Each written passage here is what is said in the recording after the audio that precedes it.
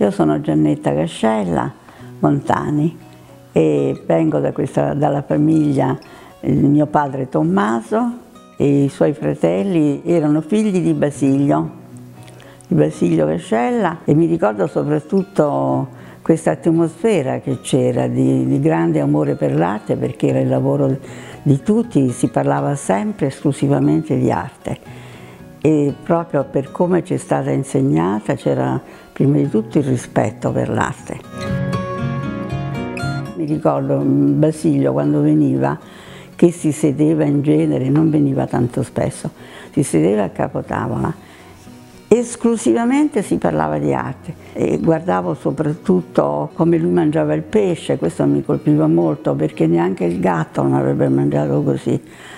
Proprio un piatto sembrava un quadro di Morandi, non so, c'era proprio la spina, la testolina, la coda, proprio pulito il piatto.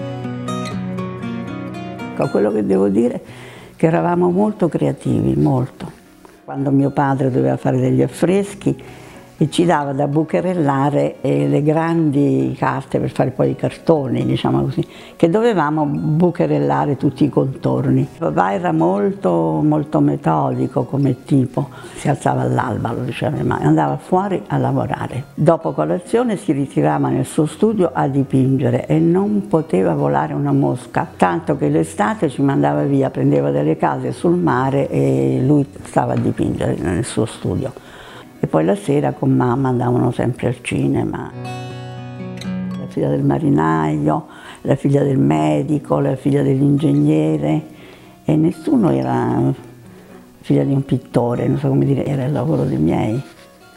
Perché poi anche i miei fratelli, io non so male un disegno andavo molto, molto d'accordo con Pietro, non so perché c'è il legame che ci è rimasto tutta la vita. Pietro era quello che portava sempre cani, gatti, uccelli, pesci, lucertole, insomma, quindi proprio aveva una grande dimestichezza con tutti questi animaletti, queste cose.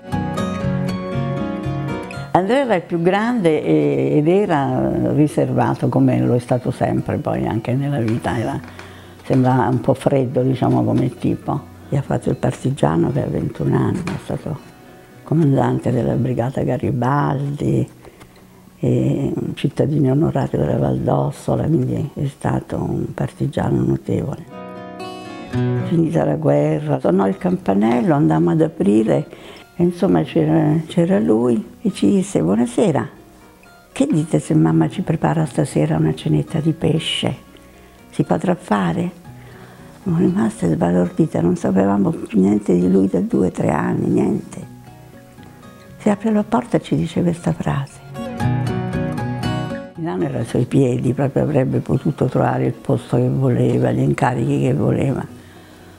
Fatto perdere le sue tracce, si è chiuso nel silenzio, a un po' più di 30 anni ha cominciato con queste sculture ad affermarsi, a farsi vivo, non so, ha avuto degli anni oscuri, mentre Andrea dice io devo essere commissionato, per dire la sintesi, invece Pietro, tipo il nonno, faceva anche perché lui voleva fare quella cosa.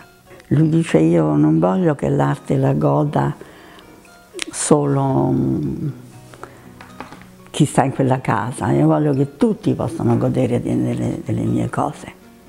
E quindi ecco i monumenti, ecco i monumenti due tipi fondamentalmente diversi. Grazie, abbiamo fatto una chiacchierata.